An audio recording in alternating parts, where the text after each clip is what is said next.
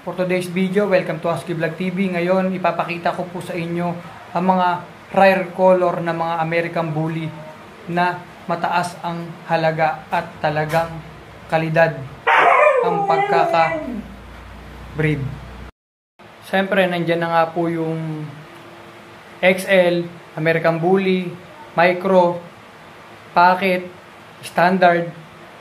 May mga kategory po sila bawat bully. At kalakip nun, iba-iba po rin sila ng presyo. Depende po kung heavy feds po yung breed nating alagang aso. Tulad ng mga exotic bully, mataas po ang demand ng alaga natin kapag exotic bully. Lalo na kung merl, yung mga katulad ng mga rare color po.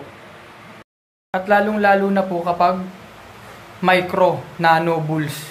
Yung mas malaki pa po yung bote ng 1.5. Mas maangas po kasi tignan kapag ang American Bully natin, malaki ang ulo, makapal ang buto, malaki ang muscle, tapos unano lang po siya. Mas mahal po yon yung nano bulls.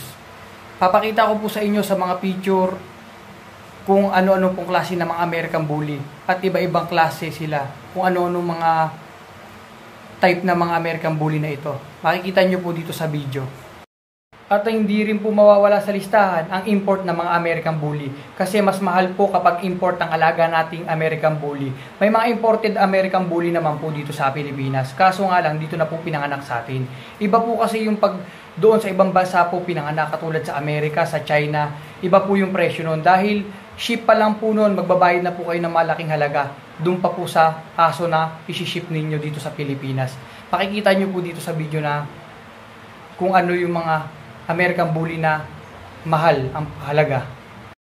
At ito na po yung American Bully na sinasabi ko sa inyo na mga mamahalin ang halaga. Isa rin po sa pinapangarap ko itong alaga ang aso yung American Bully. Ito po yung pangarap na pangarap ko. Gustong gusto ko po kasi talaga magkaroon ng American Bully.